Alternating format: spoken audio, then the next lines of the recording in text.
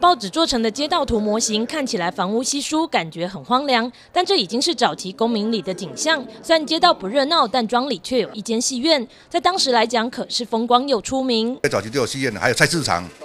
因为那卖卖青春的时候哦，现在的公民公馆庄那边比沙鹿还还更热闹。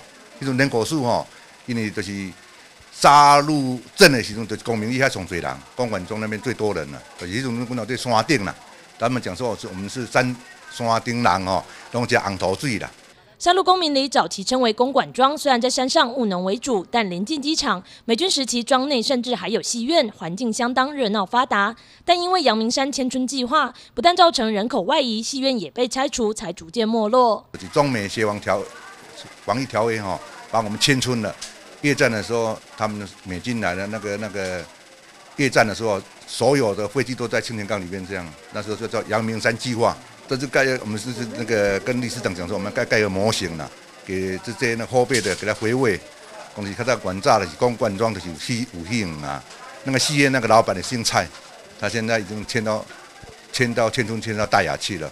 因此，公民社区依照当年的情形建造了旧公馆庄的环境模型，除了让地方人回味当年的风华，也希望能找到一个地方将戏院重新盖起来。